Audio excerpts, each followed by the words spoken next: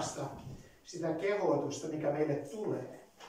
Adventti on odotuksen aikaa ja osaammeko me kysymyksenä voimme itsellemme sanoa, osaanko odottaa Jeesusta sellaisena kuin meidän tulisi. Kuitenkin hyvin voimakkaasti sieltä nousee myös Johanneksen kysymys, mikä evankeliumista löytyy tällekin päivälle. Oletko sinä se, jota me, me odotamme vai pitääkö meidän toista odottamaan? Oletko sinä se Jeesus? Ja joku voisi ajatella, että mies, jota Jeesus ylisti suurimmaksi ihmisten, ihmisestä naisesta syntyneenä, kysyy tällaisen kysymyksen. Oletko sinä se Messias? On ilmeistä, että Jumalalta voi rehellisesti kysyä aivan mitä vaan. Ja se ei vähennä Jeesuksen ominaisuutta eikä taivaan merkitystä. Jumala voi aina rehellisesti lähestyä.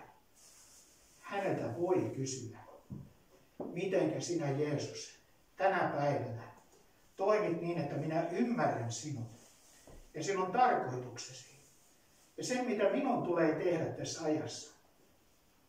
Ja tänä adventin aikana me voimme kysyä, olenko minä valmis opetuslapseksi viemään sitä sanomaa eteenpäin, että ihmiset löytäisivät yhteyden elävän Jumalan poikan Jeesuksen Kristuksen. Häntä me odotamme, häntä me kaipaamme, mutta tänään häntä me tarvitsemme. Me tänään yhdymme yhteiseen synnin tunnustukseen.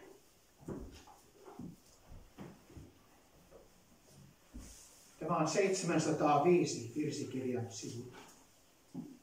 Armollinen Jumala, tunnustan edessäsi, että synti on sitonut minut, enkä kykene vapauttamaan itseäni.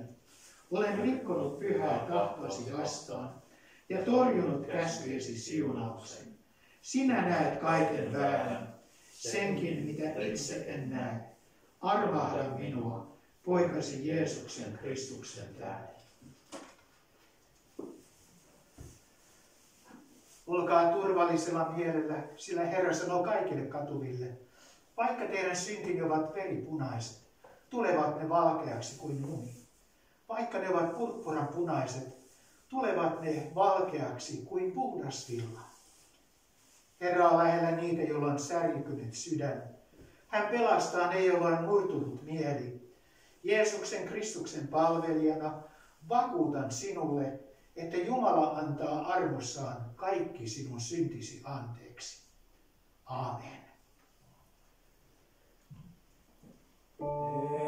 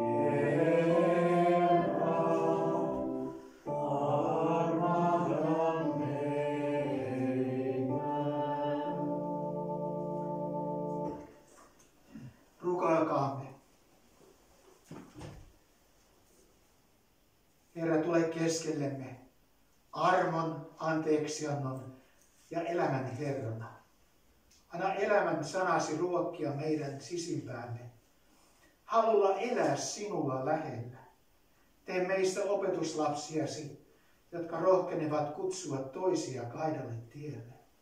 Kosketa kaikkia sairastavia sinun parantavalla voimallasi tänään.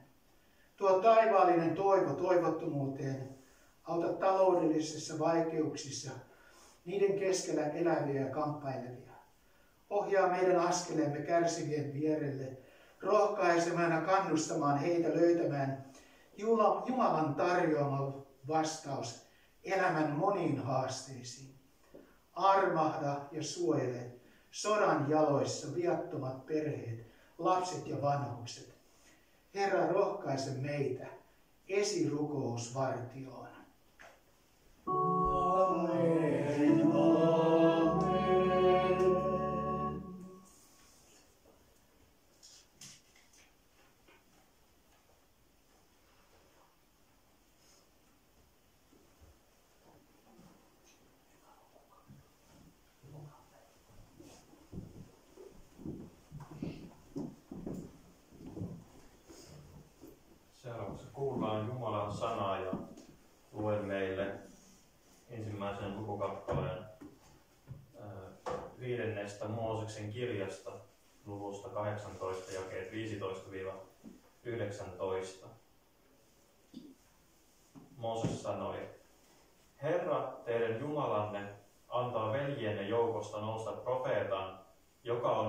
Kaltaiseni. Häntä teidän tulee kuunnella.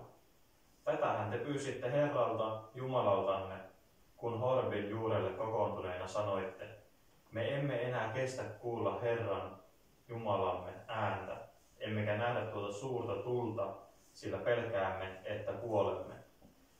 Herra sanoi silloin minulle, se mitä he sanoivat on oikein.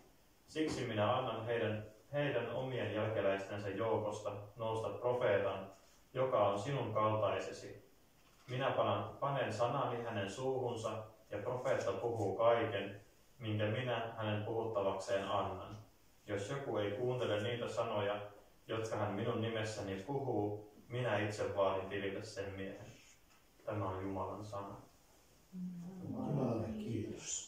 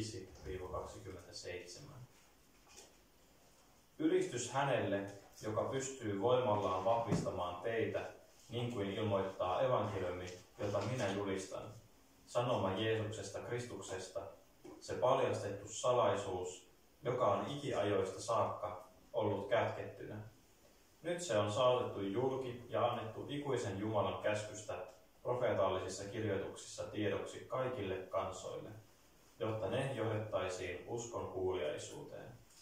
Saakoon Jumala, joka yksin on viisas, Jeesuksen Kristuksen kautta ikuisen ylistyksen. Aamen. Tämä on Jumalan sana. Jumalalle kiitos. Valmistuu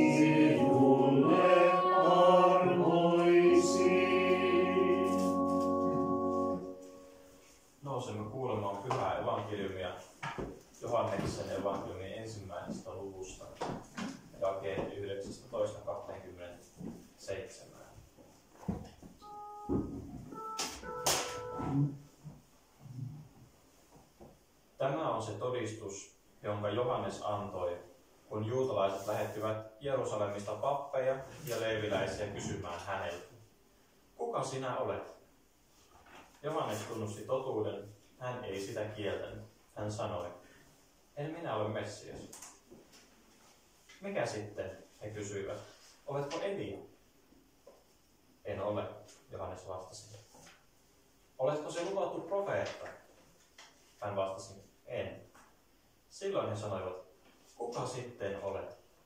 Meidän on vietävä vastaus niille, jotka meidät lähettivät. Mitä sanot itsestäsi?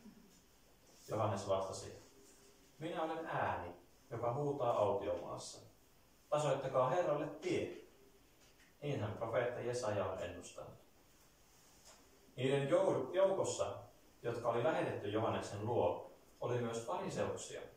He kysyivät häneltä, miksi sitten kastat ihmisiä, jos et ole Messias, et Elia, etkä se profeetta?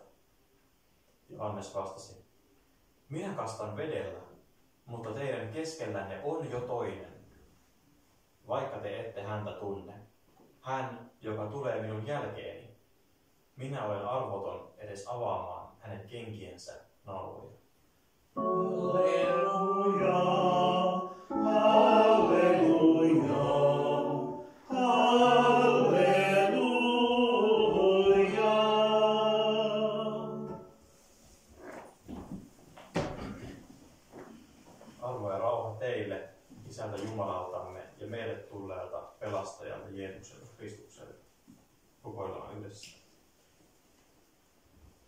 Jumala, ole luonamme ja avaa meille sinun sanasi. Kiitos siitä, että Johannes tuli ennen poikaasi Jeesusta. Opeta meille, mitä se merkitsee. Poikasi Jeesuksen Kristuksen nimessä näin rukoilemme. Aamen.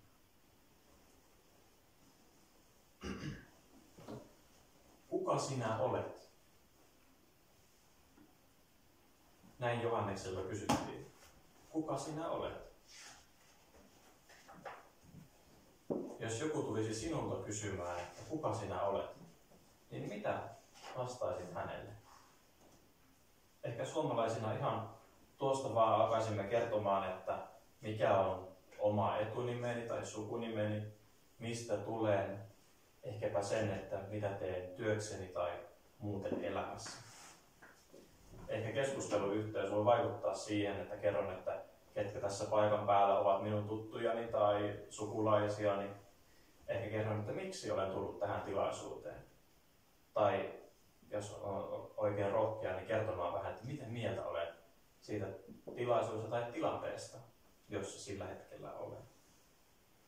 Ehkä me helposti kerromme tämmöisiä jollakin tapaa ehkä niin kuin ulkoisia seikkoja. Kuka minä olen, mistä minä tulen. Mutta minulle herää mieleen, että olemmeko me vain ikään kuin ulkoisten ominaisuuksiemme summa vai jotakin muuta. Vai niin päin, että uskallanko vastata toiselle, että mikä on minun identiteettini, mitä koen syvimmiltäni olevani, kun toinen kysyy, että kuka sinä olet. En osaa sanoa, että minkälainen kuka sinä olet kysymys oli nyt tässä tilanteessa päivän evankeliumitekstissä. Kuka sinä olet sisimmässäsi? Mikä sinulle on merkityksellisintä? Mihin asioihin koet vahvaa yhteyttä tai yhteenkuuluvuutta? Mikä on elämäsi perusta? Löytyykö myös näistä apukysymyksistä jotakin vastauksia siihen, että kuka sinä olet tai kuka minä olen? Tänään siis kolmantena adventtina erityisesti Johannes Kastaja kirkkopyhän aiheena. Hän saarnasi kääntymystä ja katumusta ennen Jeesuksen tuloa jotta ihmiset olivat valmiimpia ottamaan Jeesuksen Jumalan pojan vastaan. Jos katsotaan ulkoisia seikkoja, kuka Johannes oli. Tunnemme hänet miehenä, joka syntyi ihan tavallisena ihmisenä tähän maailmaan, mutta hänestä oli jotakin kummallista sanottu, kun hänen isänsä Sakarias sai nähdä enkelin näyssä, kun hän oli palvelemassa temppelissä pappina. Ja hän sai tietää, että jotakin erityistä tässä hänen tulevassa pojassaan tulee olemaan. Sen lisäksi hänen äitinsä, Johanneksen äiti, oli Elisabeth, ja molemmat hänen vanhempansa olivat pappi Aaronin jälkeläisiä, siis leeviläisiä ja pappissukua. Ja jos kerran hänen isänsä palveli pappina, niin luonnollisesti hänelläkin olisi poikana sitten vastaavanlainen tehtävä, kun hän kasvaa isoksi. Ja lisäksi tiedämme, että hänen äitinsä Elisabeth oli Jeesuksen äiti Marian sukulainen. Mutta kuka Johannes todella oli? Miksi Johannekselta tultiin kysymään, että kuka sinä olet? Evankeliumi kertoo, että muut papit ja leeviläiset, siis ne, kenet Johannes jo syntymänsä perusteella ja perhepiirinsä perusteella tunsi, ne lähipiirin ihmiset, muut papit ja leeviläiset tulivat kysymään Johannekselta, että kuka sinä olet? Kyllähän he tiesivät ulkoisesti, kuka hän on. Sakariaksen ja Elisabetin poika. Hänestäkin pitäisi olla pappi, mutta hän ei toiminutkaan pappina temppelissä. Mutta kuka hän on? Sen sijaan, että Johannes olisi pappina toiminut temppelissä, niin hän kulki autiomaassa ja tuli Jordanvirran varrelle, julisti kääntymystä, Jumalan valtakunnan tuloa, kastoi ihmisiä, kastoi ihmisiä kääntymykseen julisti, että valmistakaa tie Herralle, Herran tuloa varten. Hän teki jotakin ihan poikkeuksellista kuin mitä häneltä olisi ulkoisin perustein odotettu. Ja siksi häneltä kysyttiin, kuka sinä olet? Nämä muut papit ja leiviläiset eivät he ymmärtäneet Johanneksen toimintaa, eivät tunteneet, kuka hän todella oli. He kyllä näkivät, että hän tekee jotakin poikkeuksellista, mutta he eivät ymmärtäneet sitä syytä, miksi hän nyt tekee tällä tavalla. Yrittääkö hän olla joku Messias niin kuin moni muu hänen aikanaan yritti olla Messias? Vaan ei kauan kestänyt, kun yksi ja toinen tämmöinen porukka sitten hajaantui. Kukaan ei ymmärtänyt oikein Johanneksen merkitystä, hänen kutsumustaan tai siitä, mitä Johannekselle on kaikkein tärkeintä. Myös tämä Johanneksen evankeliumi, eli apostoli Johanneksen mukaan nimetty evankeliumi, mistä juuri luimme, niin sekin esittelee heti alkuun juuri tätä kysymystä. Eli kuka Johannes on? Heti alkuhymnin jälkeen käsitellään, että kuka Johannes on. Ja kun muut, kaikki muut evankeliumit aloittavat Johannes Kastajan esittelyn hänen toiminnastaan tai jopa varhaisemmin hänen syntymästään lähtien, niin kuin Luukkaan evankeliumi. Niin tässä puhutaan heti, että kuka Johannes on. No mitä Johannes sanoo itsestään? En minä ole Messias. Ja myöhemmin en ole Elia, enkä ole se luvattu profeetta. Minä olen ääni, joka huutaa autiomaassa. Tasoittakaa Herralle tie. Niinhän Jesaja on ennustanut. Tässä on monia hienoja titteleitä ja määritelmiä siitä, kuka Johannes voisi olla, mutta hän sivuttaa ne kaikki. Ihmiset kyselivät Messiaasta, Eliasta ja siitä luotusta profetasta. He tiesivät tällaiset henkilöt joksikin poikkeuksellisiksi henkilöiksi, jotka Jumala oli raamatun perusteella luvannut, että tämmöiset ihmiset tulevat jossakin vaiheessa. Jumalan kansaa auttamaan ja heitä johdattamaan ja puhumaan julki Jumalan sanaa. Heillä oli myös jonkinlainen käsitys, valmis käsitys omien raamatun selittäjien perusteella, että mitä odottaa Eliasta silloin, kun hän tulee ja näin edelleen. Johannes kuitenkin luonnehti identiteettiään tällä profetialla, mikä ei ollut nyt kansan mielessä, ei ainakaan äänen sanottu. Hän on ääni, joka käy Herran edellä ja valmistaa tien. Mutta miten hän voi olla ääni, joka käy Herran edellä? Tai mitä se tarkoittaa? Jos yritämme kuvitella tätä tilannetta paikan päällä, mitä he ovat mahtaneet miettiä? Hän on ääni, joka käy Herran edellä. No Jesajan kirjassa, luvussa 40, tämä on tämä kohta, mitä Johannes äh, lainaa. Ja ilman muuta, muuta sana Herra viittaa tässä Jumalaan. Eli kuinka hän voi olla Herran Jumalan edelläkävijä? Voi olla, että hänen puheensa tulkittiin ensin hengellisesti. Ajatellaan, että hän toimii jonkinlaisena ehkä oman aikansa uskonpuhdistajana, että ihmiset kääntyisivät taas Herran Jumalan puoleen. Niin kuin vaikka pakkosiirron jälkeen Israelin kansalla. Onko se Malakian kirja vai joku muu profeettakirja, missä sanotaan siitä, että kumpa nyt porukka kääntyisi takaisin Jumalansa puoleen. Tarkoittaako tämä Herran edellä kulkeminen jotakin tällaista? No oli miten oli, miten Johannes ymmärrettiin, niin he eivät tosiaan uskoneet, että Johannes tarkoittaisi Herrana ihmiseksi syntynyttä Jumalan poikaa. Siis jollakin muulla tavalla Herran edelläkävijä, mutta ei ainakaan tällä tavalla.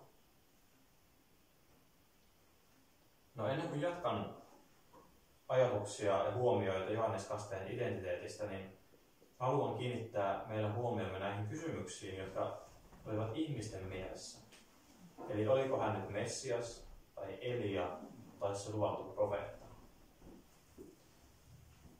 Johanneksen toiminta oli siis jotenkin niin vaikuttavaa ja niin poikkeuksellista, että ihmiset kyselivät, olisiko hän se Messias, kansan vapauttaja, jota juutalaiset odottivat. Ja niin kuin juuri hetki sitten viittasin, niin monet hänen, aika, hänen aikanaan, häntä ennen ja hänen jälkeensä, niin väittivät olevansa Messias. Oli monia juutalaisia miehiä, jotka väittivät jotakin itsestään, mutta mikä lopulta ei pitänyt paikkansa. Messias-odotus oli jollakin tapaa keskeistä, ehkä tavallista.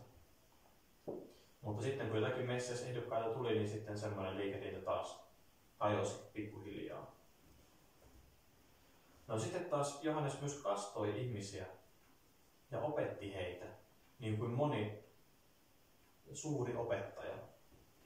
Tämä kastaminen ja opettaminen tarkoitti, että hän hankki seuraajia itselleen. Ainakin sillä tavalla se tulkittiin. Ja on jännää, että kun Johannekselta kysytään, että kuka sinä olet, niin Johannes automaattisesti vastaa, että en minä ole Messias. Eli kysymys, kuka sinä olet, viittasi ihmisten mielestä ilman muuta siihen, että onko hän nyt Messias vai ei. Eli joko Johannes aikaisemmin tunsi tämän, että jotkut pohtivat, onko tämä näin vai noin. Tai sitten hänen toiminnassaan oli jotakin semmoista, mikä monien mielestä saattoi liittyä Messiaseen. Sen takia Johannes vastasi, että ei, en minä ole Messias. Hän oli silti merkillinen henkilö jollakin tapaa. Heti seuraavana kysyttiin, että no onko hän sitten Elia? Eliastakin oli annettu lupauksia, että Elia tulee ennen Herran päivää. Ja sen ajan raamatun selittäjät odottivatkin Herran äh, Elian tulemista ja löysivät sen kohdan tuolta Malakian kirjan lopusta. Siellä sanotaan näin. Kuulkaa, ennen kuin tulee Herran päivä suuri ja pelottava, minä lähetän teille profeetta Elian hän kääntää isien sydämet lasten puoleen ja lasten sydämet isien puoleen. Silloin en tuomitse maata perikatoa, kun tulee. Johannes sanoi, että hän ei ole Elia. Tämän kanssa näyttää jotenkin ristiriitaiselta Matteuksen evankeliumin 11. luku, missä Jeesus sanoi, että Johannes kastaja on Elia. Lukkaan evankeliumi kuitenkin täydentää, että Johannes kulki Elian hengessä ja voimassa. Ja niinpä jos yritämme näitä kaikkia ymmärtää rinta rinnan, niin näyttää siltä, että Johannes ei ole Elia niin ruumiillisesti, mutta hän toimi Elian hengissä. Hänessä toteutui jotakin siitä, mitä Malakia ennusti joku 400 vuotta aikaisemmin. Voi olla, että Johannes ei halunnut ottaa itselleen tällaista profeetan arvonimeä, ja siksi sanoi, että hän ei ole Elia, vaikka hänessä tosiaan toteutui tämä profetia siitä, että hän tuli Elian hengessä ennen Herran tuloa. No kolmantena sitten kysyttiin, että onko Johannes se luvattu profeetta. Ja tämä lienee meille, tai ainakin minulle on ollut ö, vierain nimitys näistä kolmesta, mutta se käsittelee tuota tämän päivän vanhan testamentin lukukappaletta. Tai vanhan testamentin lukukappale käsittelee tätä. Siinä Mooses ilmoittaa Israelin kansalle, että Herra nostaa hänen kaltaisensa profeetan heidän joukostaan jossakin vaiheessa. Moosesta pidettiin Israelin tärkeimpänä profeettana, koska hän antoi heille Jumalan lain ja kymmenen käskyä. Ja hän keskusteli Jumalan kanssa suoraan. Tämäkin profeetia, profeetia oli tärkeä aihe juutalaisille oppineille, kenen kautta Jumala on luvannut johtaa kansansa myöhemmin, ilmoittaa tahtonsa. No Johannes kielsi, ettei hän ole tämä luvattu profeettakaan. Hän ei ollut mitään, mitä kansa odotti tai mitä kansa arvuutteli, kuka hän olisi. No meille tämä viimeisin tämä profetia Mooseksen kaltaisesta profeetasta. Voimme käsittää, että se puhuu Jeesuksesta Kristuksesta, eli hebrean kielellä Messiaasta. Samoin kuin Mooses, niin Jeesuskin puhui Isän Jumalan kanssa suoraan ilman välikäsiä ja ilmoitti kansalle Jumalan tahdon. Jos lukisimme tämän päivän evankeliumitekstiä pari jaetta aikaisemmin, niin siellä lukee tällä tavalla. Lain välitti Mooses, armon ja totuuden toi Jeesus Kristus. Eli siinä Jeesus rinnastetaan Moosekseen Jumalan tahdon välittäjänä. Mutta koska Mooseksen laki ei kyennyt sovittamaan meidän syntejä, niin Jumalan päätti lähettää Jeesuksen maailmaan, että hän tuo armon ja totuuden. No Johannes sanoi, että hän on siis autiomaassa huutava ääni. Tai tarkalleen ottaen autiomaassa huutavan ääni. Eli sen ääni, joka huutaa. Eli hän ei ole edes tuo huutaja, vaan hän on vain se ääni. Kuulostaa siltä, että Johannes Kastaja ei etsinyt siinä omaa kunniaansa, mutta kertoo totuuden omasta tehtävästään. Hän sanoikin toisaalla, että hänen on tultava pienemmäksi ja Jeesuksen suuremmaksi. Tämä koko ensimmäinen luku tässä evankeliumissa mielenkiintoisella tavalla yhdistelee Jeesuksen ja Johanneksen nimityksiä. Jeesus on Jumalan sana, joka on tullut maailmaan, ja Johannes on vuorostaan tullut sanan ääni. Hän todisti tuosta Jumalan sanasta. Hän siis toi julki ja puhutti kaikille tuon Jumalan sanan tuosta Jumalan sanasta, joka oli tullut maailmaan.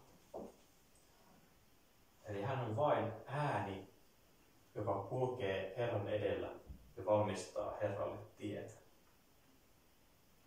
Niin kuin Hannu sanoi tuossa alussa siitä, että millä tavalla me olisimme valmiita.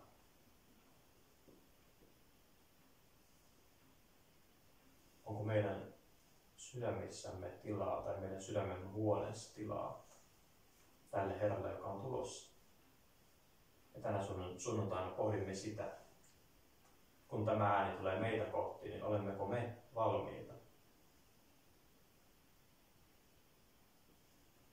Johannes on autiomaassa huutava ääni ennen Herran tuloa, joka käskee valmistumaan tien.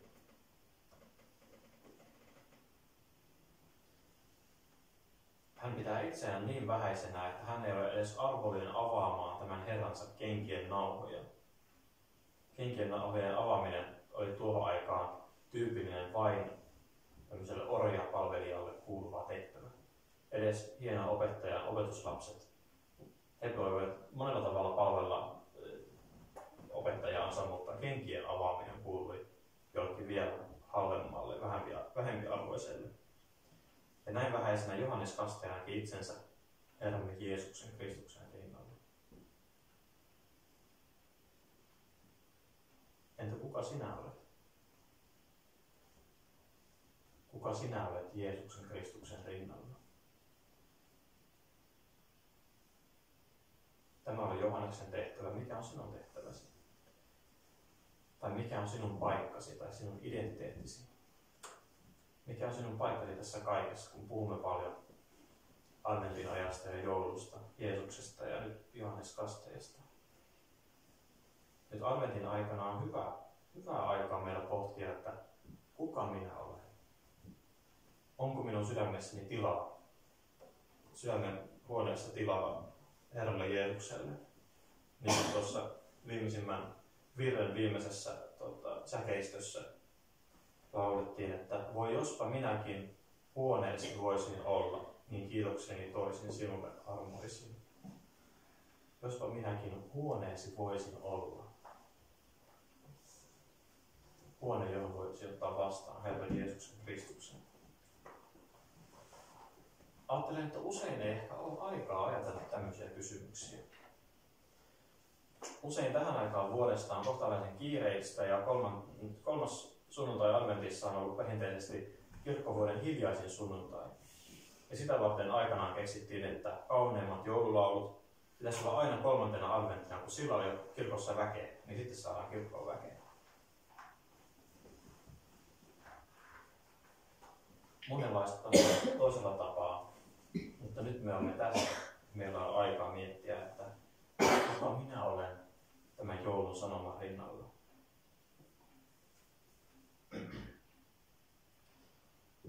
Voi olla, en tiedä. Ehkä Jumala on siunannut meitä sillä, että hän on riisunut meiltä kaikkea muuta tekemistä ja, ja hyörimistä ja pyörimistä, kun korona sulkee kaikenlaisia juttuja. Että meillä onkin aikaa miettiä ihan oikeasti adventina, että kuka minä olen ja kuka Jeesus on. Missä minun paikkani on siinä Jeesuksen suuressa kertomuksessa. Mihin meillä on kiire valmiissa maailmassa muutenkaan. Monenlaista haluamme tehdä ja usein teemme monenlaista hyvää ja hyödyllistä. Mutta joskus hyvien asioiden tekeminen vie ajan ja ajatukset siltä, mikä olisi kaikkein parasta tai kaikkein tärkeintä. Meidän täytyy tänäkin aikana muistaa Jeesuksen varoitus, että mitä hyödyttää ihmistä, jos hän voittaa omakseen koko maailman, mutta menettää sielunsa. Millä ihminen voi ostaa sielunsa takaisin? Jumala on antanut meille juuri tällaisen adventin ajan. Ehkä juuri siksi, että osaamme keskittyä. Että kuka hän on. Ei ehkä niinpä, niin paljon siitä, että kuka minä olen, vaan kuka hän on. Tai ehkä siitä minäkin saan merkityksen ja tarkoituksen. Niin kuin Johannes sanoi, ei hän ole mitään, mutta hän on jotakin suhteessa Herraan. Hän on se ääni, joka huutaa valmistaa Herralle tiedä ennen hänen tuloaan. Ja ilman Herraa ei hän ollut mitään. Ei tällä halua herätellä meitä ajattelemaan perustavia kysymyksiä nyt joulun aikana. Mikä on minun elämäni perusta? Olenko Kristuksen oma? Ja arkielämässäni mihin kaikki pyrkimykseni ja tekemiseni tähtäävät? Eli elänkö tätä elämää varten vai olenko tulevan maailman elämää? Olenko oppinut elämään sillä tavalla, että elän täällä viisaasti, mutta koko ajan katse Jumalan valtakunnassa ja tulevan maailman elämässä? joku laulutekijä sanoi jotenkin tällä tavalla sitä, että elän jalat maassa, mutta katse suunnattuna pilviin. Eli ikään kuin ajatus siinä, että elän tässä maailmassa ja elän tätä Jumalan antamaa elämän lahjaa todeksi, mutta odotan kuitenkin jatkuvasti sitä tulevan maailman elämää Herran Jumalan luona taivaassa. Ehkä nyt Jumala haluaa puhua meille jotenkin näiden olosuhteiden kautta et, ehkä hän puhuu sitä vastaan, että länsimaalainen ihminen ja tämmöinen ihmisen kehittymisen uskossa, niin moni alkaa ajattelemaan, että me itse asiassa pystymme hallitsemaan lähes kaikkea maailmassa. Pystymme jatkuvasti vain kehittymään. Sitten kun tulee jotakin, mikä on ihmistä suurempi, niin tämmöiset luulot lakkaa. Joskus jopa yritämme syrjäyttää Jumalan olemassaolon omalla kaikkivaltiudellamme. Olemme niin valtavan hienoja ja hyviä. Mutta Jumala näyttää, että ei tämä maailma ole meidän käsissä, vaan hänen käsissään. Tai sitten Jumala haluaa puhua meille siitä, että kuinka tähän maailmaan mieltyminen ja tähän maailmaan uppoutuminen saattaa johtaa meidät pois hänen tieltään ja saattaa meidät kadotuksen tielle. Emmehän me sitä halua. Mutta välillä on, on monenlaista kiirteä, kiirettä ja monenlaista hyvää juttua, mitkä vie huomion pois sitä kaikkein tärkeimmältä. Ehkä luotamme tähän maailmaan, mutta se onkin arvaamaton ja pettävä. Tai sitten voi olla, että etsimme itsellemme kunniaa ja Johanneksen paikalla sanoisimme, että ilman muuta melkein olen Messias, mutta en ihan. Ja kyllä olen, olen Elia. Ja, ja vähän toisella tavalla tulkittuna olisin melkein tämä luvattu profeettakin. Ehkä etsimme itsellemme kunniaa ja suosiota, ikään kuin se olisi jotenkin tärkeää. Mutta se, sekään ei paljon paina sen Jeesuksen varoituksen rinnalla, että millä voin ostaa silmi takaisin. Ja jos katsomme Johannesta roolimallina, kuka minä olen? Hän ei ollut ylpeä, hän ei etsinyt itselleen korkeaa arvonimeä, ei yrittänytkään olla Jumalan vertainen, mutta suostui olemaan luotettava todistaja siitä, kuka Herra on, milloin hän tulee. Herra tulkoon suuremmaksi ja minä pienemmäksi. Ja Jeesus sanoi hänestä, että ei kukaan naisesta syntynyt ole suurempi kuin hän. Ja Johannes ei mieltynyt tähän maailmaan. Hän eli pitkiä aikoja autiomaassa ja puki nykyään ajateltuna assuja vaatteita, mutta aika valimattomalla vaatteita ilmeisesti, ja söi sitä ruokaa, mitä sattuu tulemaan vastaan. Hänelle riitti se, että hän sai olla Jumalan pojan ystävän ja todistaa hänestä. Hän laittoi toivonsa Jumalan poikaan iloitsi hänestä. Ei niin paljon laittanut toivonsa tähän maailmaan ja siihen, että, että miten paljon saa mainetta siitä, että kastaa ihmisiä. Hän ilo siitä, että hän on Jumalan pojan ystävä. Ehkä se kertoo meillekin, että ei meidän tarvitse yrittää olla jotain. Ei tarvitse ylpeillä siitä, mitä minulla tai mitä sinulla on. Eikä myöskään pidä halveksua toisia siitä, mitä heillä ei ole. Ei arvioida toisia ulkoisen mittareita. Parempi, ettei rupea arvioimaan lainkaan. Parempi on keskittyä siihen, mikä on olennaista. Kuka Herra Jeesus on ja kuka minä olen. Arvostanko häntä, olenko valmis odottamaan häntä tänä adventtina. No Jeesus on antanut meille kutsun ja tehtävän olla hänen valomonaan tässä pimeässä maailmassa. Jumala on herätellyt meitä lain tuomiolla, evankeliumin riemulla ja erityisesti tänä vuonnakin olosuhteiden järkkymisellä. Emme me tiedä, kuinka paljon meillä täällä on aikaa jäljellä. Mutta me saamme turvallisesti olla Herran omia ja tehdä sitä työtä, mikä hän on meille antanut. Meidän identiteetissämme ja tehtävässämme on jotakin samanlaista kuin tämän Johannes, Johannes Kastajan kanssa. Meilläkin on oma paikkamme tänä päivänä raivata Jeesukselle tietä ihmisten sydämiin. Millä tavalla sen teemme kukin oman lahjamme mukaan. Mutta sellainen tehtävä meillä on yhdessä. Ehkä se toteutuu lähimmäisen rakkaudella tai ystävällisissä sanoissa. Ehkä siinä, että kohtaan jonkun, joka, jolla muuten ei ole ketään. Tärkeää on muistaa se, että se mitä me olemme, me olemme aina jotakin suhteessa Herran Jeesukseen. Mutta ilman häntä meillä ei ole oikein mitään. Ei ole muuta elämän perustaa, mikä kestää, kuin Jeesuksen armo ja anteeksi anto. Hän on tulossa tänne jouluna. Hän on jo tullut kauan aikaa sitten meidän pelastajaksemme, Herraksemme. Kun kysymme, että, tai joku kysyy että meiltä, että kuka sinä olet, niin voimme turvallisesti vastata, että olen Herran Jeesuksen oma. Ja näissä kolmessa sanassa on ihan riittävästi meitä tänä adventin aikana pohtia myös sitä, kun Johannes on meille valmistamassa tietä. Olen Jeesuksen Noustaan tunnustamaan yhteinen uskomme apostolisen uskon tunnustuksen mukaan.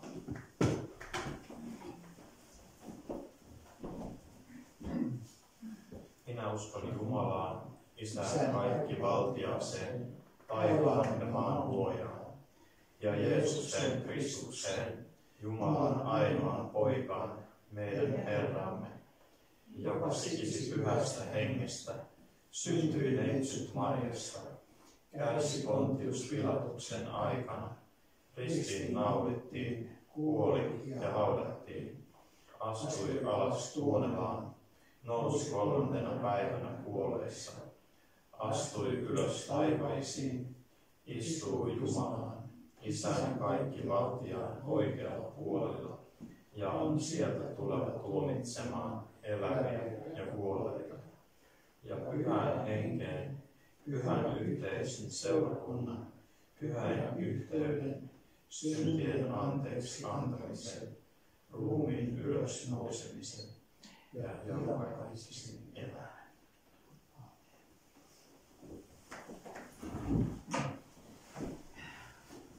Rukoillaan yhdessä.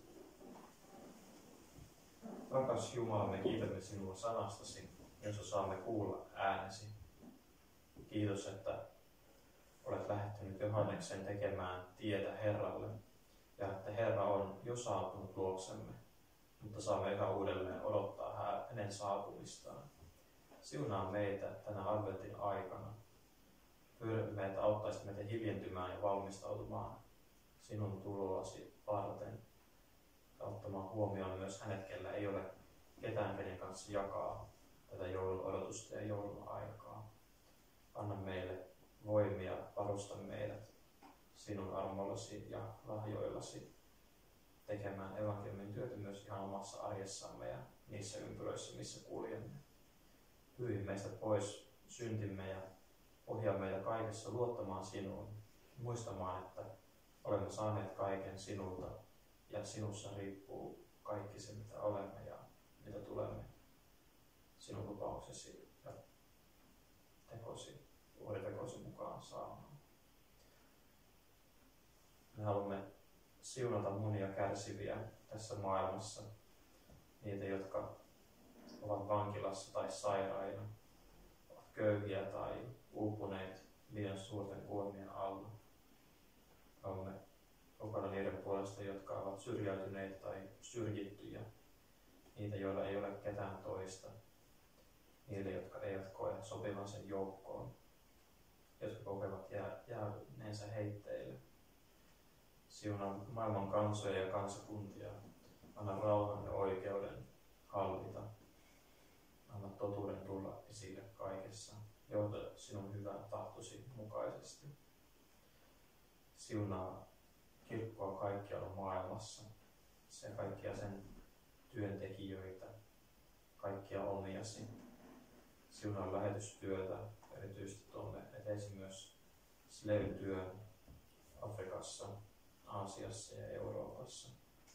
Lähetä uusia työntekijöitä elonpelloille, jotta sinun sanasi julistettaisiin riemukkaasti ja, ja suurella määrällä ja voimalla vaikka on enemmän tai vähemmän kuulijoita mukana, niin Herra, ole sinä jokaisessa kohtaamisessa siellä kaikkialla, missä sinun sanasi julistetaan. Haluamme Herra tuoda eteesi Slöyli myös sen taloudellisen tilanteen, johda sinä hyvän tahtosi mukaisesti anna Slöyn johtajille ja hallitukselle viisautta hyviin ja oikeisiin päätöksiin Pyydämme myös siunaustasi kaikille sinun sanasi palvelijoille täällä Suomessa. Anna heille viisautta, anna heille ymmärrystä sinun sanastasi. Anna heille halua ja tahtoa rakastaa lähimmäisiään niin hyvin kuin vain osaavat ja anna vielä enemmän siihen kykyä ja taitoa ja halua. Ohjaa meitä itse kutakin lähimmäistemme luokse rakastamaan, auttamaan, välittämään ja iloitsemaan heistä. Auta, että voisimme olla lähimmäistemme kanto, ö, taakkoja kantamassa, että voisimme rakastaa sillä rakkaudella, millä sinä olet rakastanut meitä. Ja täytä meissä se, mikä meissä on vielä vajaata ja heikkoa huonoa. Kiitos, että tällaisiakin otat mukaan sinun evankeliumin työhön, ilosanoman viemiseen, sanoin ja teoin. Haluamme rukoilla erityisesti vielä heidän puolestaan, jotka joutuvat joulua vaikeaan tilanteeseen, tavallisen tapaan viettää joulua. Ehkä voi olla yksinäisyyttä tai epätoivoa, pelkoa, monenlaisia kysymyksiä tänä erikoisena aikana. Herra, puhuttele sinä sanallasi ja armollasi. Tule lähelle jokaista joulun sanomassa. Auta, että tänäkin jouluna voisi sinun sanasi tulla erityisesti esille, eikä vain erilaiset muut ulkoiset puitteet ja muut, joille juhlia, vaan nimenomaan, että se on sinun Herramme Jeesuksen syntymäjuhla. Taivaallinen Isämme, me ylistämme sinua siitä, että olet lähettänyt meille poikasi Jeesuksen Kristuksen pelastamaan meidät. Kuule nämä rukoukset, rukouksemme ja tule luoksemme armossasi. Nämä ja kaikki muut asiat, joiden puolesta olet kehottanut meidät rukoilemaan, niin me jätämme ne kaikki sinun kanssa käsisi, myös kaikki hiljaiset ruokauksemme. Tätä kaikkea me rukoilemme Isä, rakkaan poikasi Jeesuksen Kristuksen nimessä. Amen.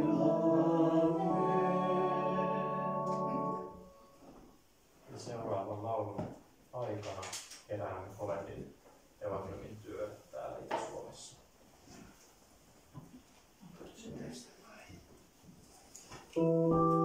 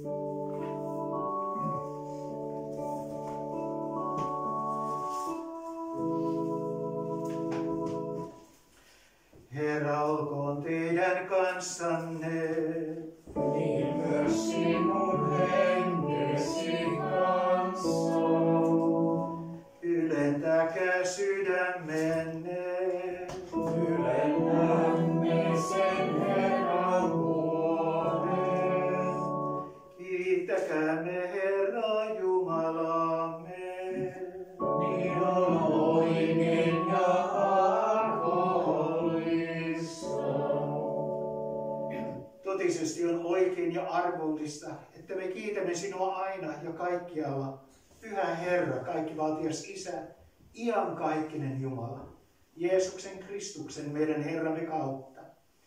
Hän on kärsinyt kuoleman meidän puolestamme ja ylösnousemisellaan avannut meille tien ikuiseen elämään. Me kiitämme sinua tästä taivaan lahjasta ja laulamme sinulle ylistystä enkelien ja kaikkien pyhien kanssa. Pyhä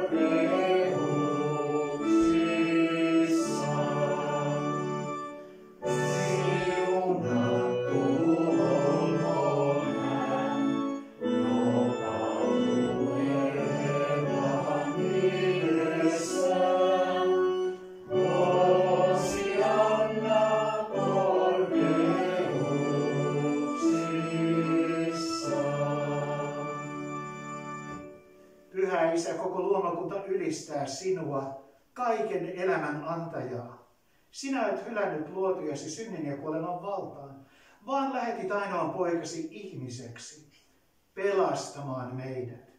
Me kiitämme sinua lunastuksesta, jonka olet valmistanut meille hänen täydellisellä uhrillaan ristin puussa.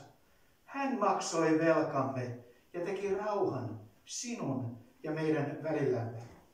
Herramme Jeesus Kristus, sinä yönä, jona hänet kavallettiin. Hän otti leivän, siunasi ja mursi ja antoi opetuslapsilleen ja sanoi, ottakaa ja syökää, tämä on minun ruumiini, joka annetaan teidän puolestanne. Tehkää se minun muistokseni.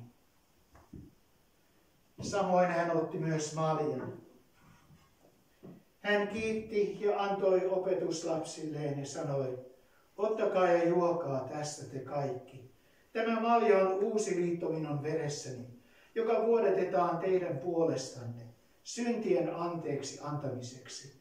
Niin usein kuin te siitä juotte, tehkää se minun muistokseni.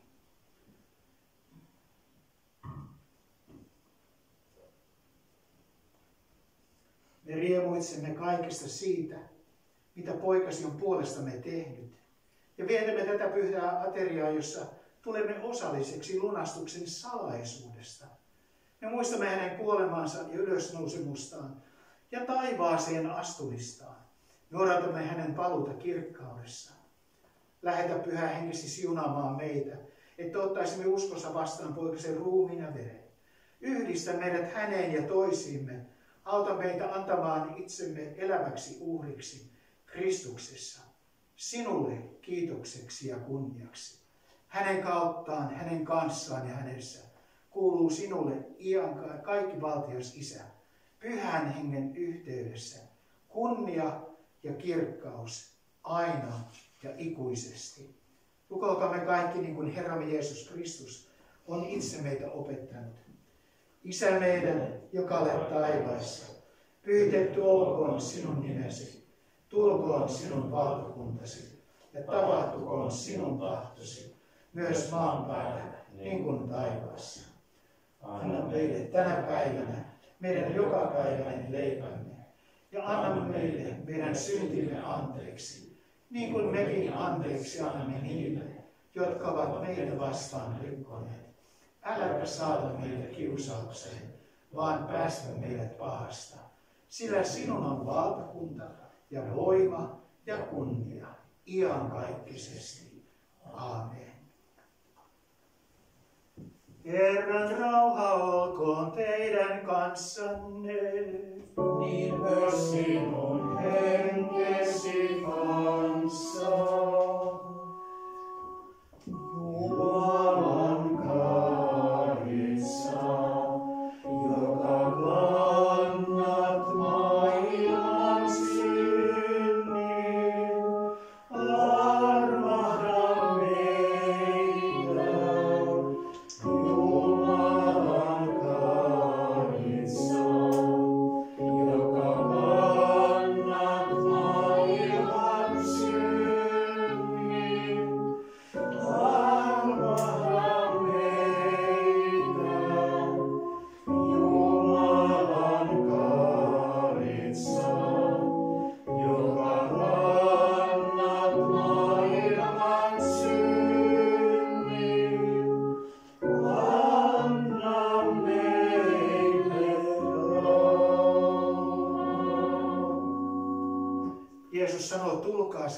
kaikki on valmistettu. Tulkaa te kaikki kuormitettu ja työn uuvuttomat ihmiset minun tyköni. Minä annan teille levon.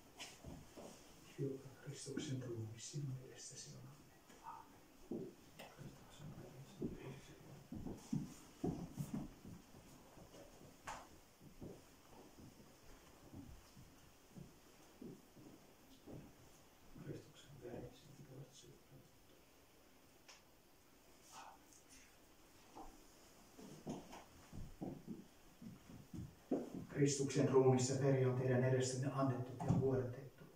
Hän teki kaiken, että me saisimme nauttia iankaikkisesta elämästä kerran hänen kirkkaudessaan. Sinä olet Jumalan rakastama, hänen kutsuma ja hän haluaa käyttää sinua. Ole siihen valmis näin adventinkin aikana. Mene ja palvele Herra ilolla. Aamen.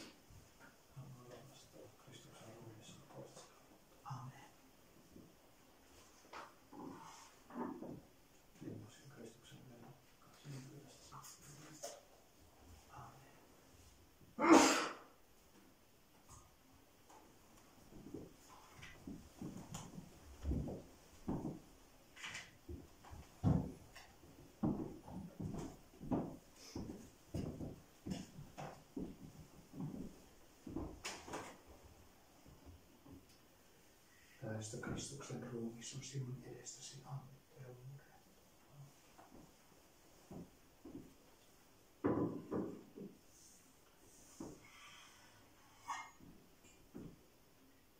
Kristuksen veri on sinun edestäsi vuodatettu.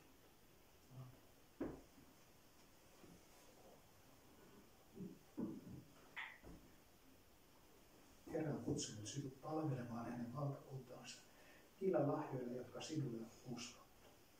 Käytä niitä lahjoja uskollisesti hänen kunniaksi. Aamen.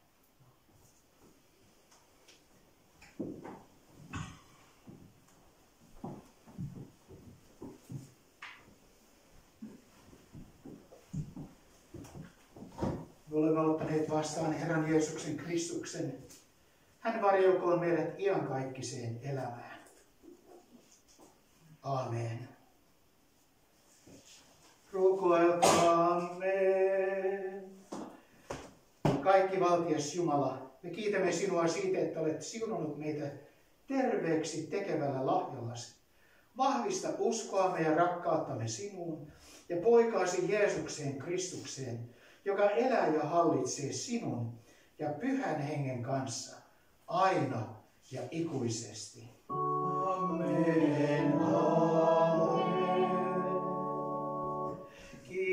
Amen.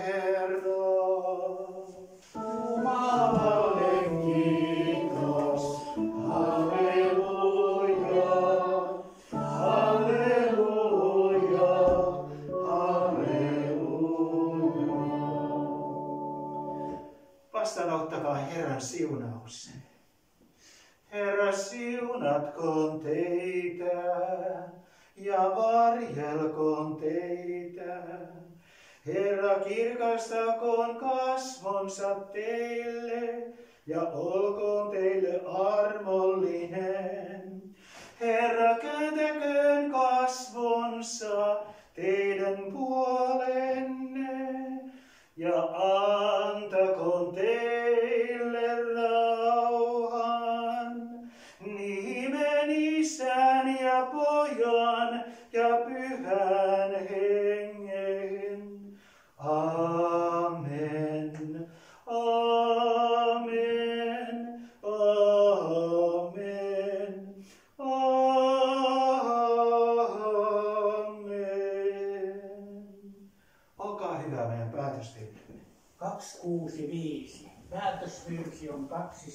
хуже.